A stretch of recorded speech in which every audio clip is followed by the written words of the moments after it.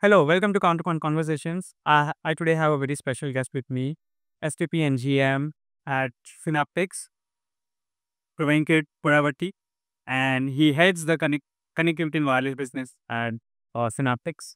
And today we are going to have a conversation on what are different trends going on in wireless business. And Synaptics is one of the leaders uh, in wireless connectivity business, and especially for Wi-Fi, Bluetooth, UWB, and would like to know more, Venkat, from you.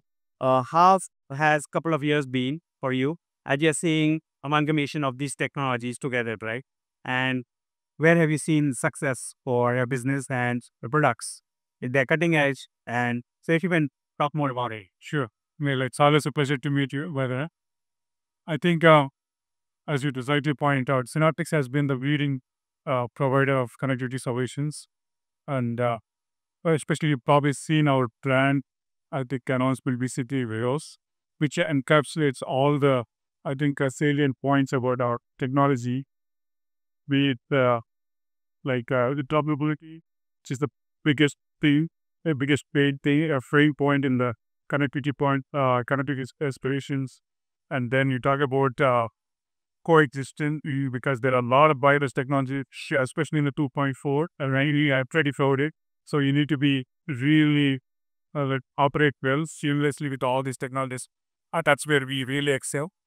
And then uh, we talk about the just the range, right? The range point of view, because you do want to get the maximum throughput at a longer distance as well, especially in applications like security cameras, and uh, and then the low power aspect of it, which is very good, uh, is required on the wearable side of things. So so those are the things where I think Synaptics has been kind of uh, the dominant right in these uh, markets.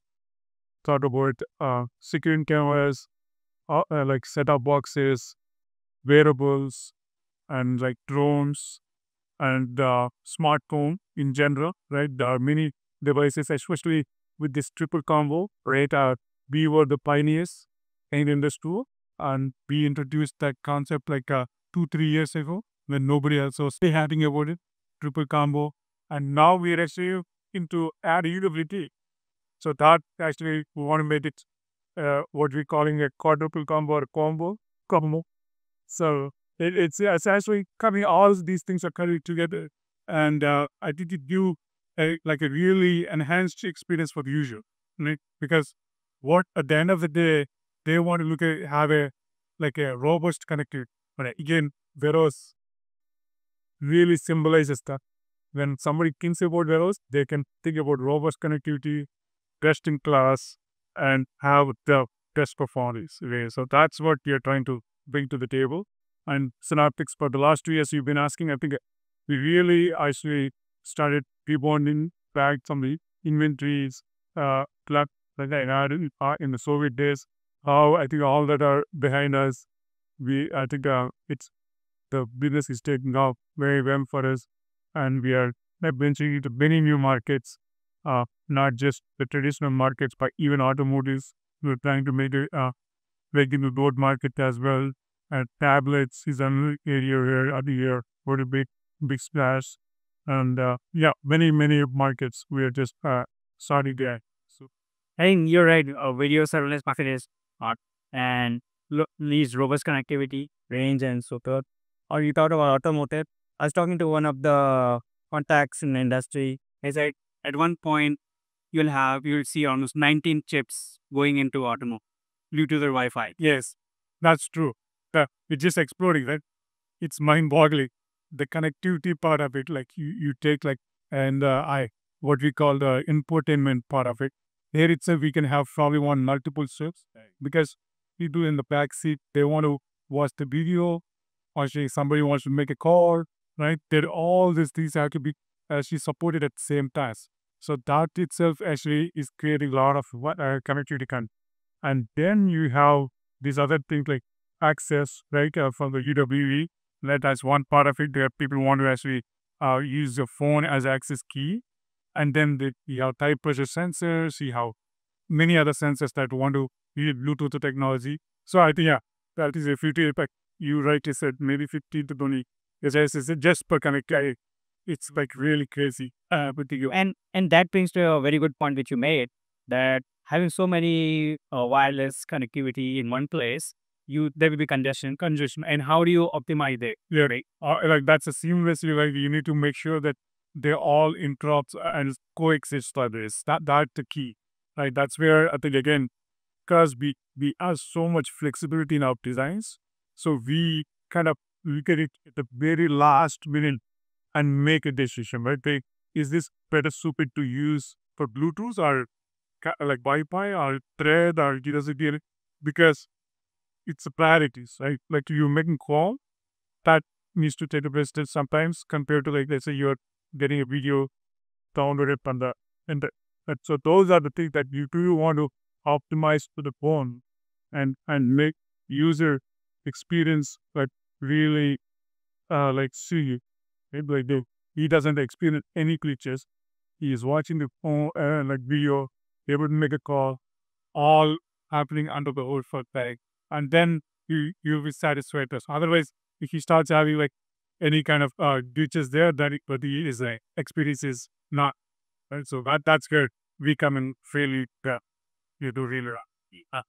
You know, and this is the elephant in the room. AI. Now, so everyone talks about AI in Lubio, but I know you have been the industry for long. And yes, it, we're talking about orchestrating AI in Power.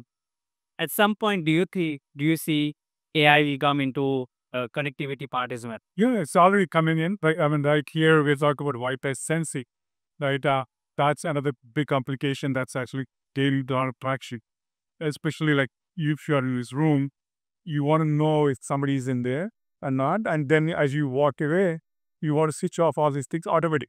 Like you don't need to go and like do other things. And why wireless video sister like really perfect for that one because it's kind of invisible for you and and but you can still have perturbations in the medium. We cardiac just breathe, and you don't need to go anything there, but just breathing itself, I can actually detect and say like, hey, somebody is present in this room, and as you walk away, it becomes much more quiet, and that is good enough for us to signal that okay, first you want away, and and but the beauty of that is a usual thing, but then you run it through AI right? Because that's where you order extract some signature and say that, hey, we somebody was breathing that will look like there. Whereas nobody's there, then that you might be but but that requires to correct. So we're already doing that is a wireless so we we covered all this what because channel can strip information and then run it through our AI on the Astra, which is uh, where we actually operate integrate, I, mean, integrate with our Astra drivers and whatnot and that AI is we already in AI reduced there. And then we talk about other things, right? Maybe you're going to even predict what would be the channel quality as you have multiple devices that and think at different channels or, or like a different transmit like power level. All these things can benefit from AI, right? All the insights that we can get from AI can make it much more optimal connected as well. So I think uh, see it will go both ways. The connectivity will benefit from AI, right? And AI will benefit from connectivity because in the end, after doing all this like big computations, you want to like uh, communicate that back to the user device, right? Like, uh, let's say somebody is in your room, you did expect if you get a alert on your phones, now it has to happen through a communication list. And you, you do the communication and then you're send it over, they connect those. So it's going to like really coexist at this point. AI and connectivity like, like almost like a like water fish. Okay. That in takes really some wording. You talk about a lot of differentiators of Synaptics. But when you go to customer, obviously it comes to forecast. Uh, doing good at perform good performance as house. Okay. Uh, but that is not the only C's which you which you mentioned, right? Yes. So if you go outside of China, uh, people choose you. And why is that? No, I think like there is always a place for power side. You can't completely dismiss it. But I think there is quality is also it has right uh, its place and people do want to actually get media at times we say to have high quality uh, for pizza. So that where my Syracuse is well known for Kanekushi Kodak other aspect was is that when they go with uh, Synaptics, they can uh, see peacefully that okay their device is out there and uh, has no like issues uh in way out and they get get the first movers and accuracy and surface. I think uh user experience that can stop that. Right? So that that's where I think that's why yeah why we need to optimize. It is no uh, I think uh, oh, I think uh, no way we can uh, uh, completely avoid that. Sure, but you're gonna want to optimize to the phone and just provide bare minimum, Right. and in that process, like make users experience really bad. That I think is not something good. So it's the kind of optimal beta. We do want to like optimize the cost, but then have that like high, like uh, uh, level short up threshold, right? Where people won't say, "Hey, I, I'm good with the performance, and I'm getting it every cost." I that's the kind of really Performance but cost. performance cost. Right? That that's the key point. It's not just about the the cost we was near, Right? Not, that's not this book. In some markets, it does. There's I think there is place for that, but I think uh, in most markets, it's the performance for process, and there has to be the visible part. But the question, uh, question. Maybe a final comment I would like to uh so looking for next 2025 releases. Do you have any teaser for us? Uh where we should look at in terms of the wireless trends you see from the customers and uh build your roadmap of all these. Definitely, I think uh, I thought about. I think uh, so on the wireless side, I think the devices are explored, and uh, the spectrum is kind of limited. Even though right, we go, uh, it's the getting out, but as you know, it's uh, just a matter of time. Though then it has right. So what what this means is that you need to really get to the like a, a unit level uh, bandwidth and type of optimize so for example, if you if you are doing like a, a round robin kind of and you wait, you have to wait for more turn to transmit and receive, then it introduces a lot of latency. But instead, if I can actually slice it such a way that I can actually talk to all of you at the same hmm. time, right, then you will be able to reduce that latency in in the process to the user experience. So that's where the Wi-Fi 7 should the multi operation and are you learn operators all these things like that. So that's good. I already took a like a had been same smart 10 I did, but now we do basic uh, update up in IoT set. And then as you see, we we want to create a channel some days out. Do want to measure the bills or uh, like uh, do a Wi-Fi sensor.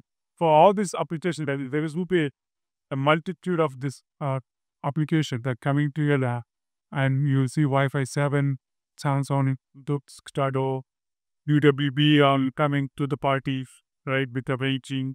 So I think that's good. I think the trend will be that it, it's more and more use cases get added and using AI as a step for making more, more efficient and more, I think, uh, rich in terms of uh, user experience and more. So I that's what we see in next two years, especially if you want to say to the Wi-Fi 7, need to 6.0 products come to market and uh, reduce the and improve the weighted switch. And then adding UWB, other things into the overall.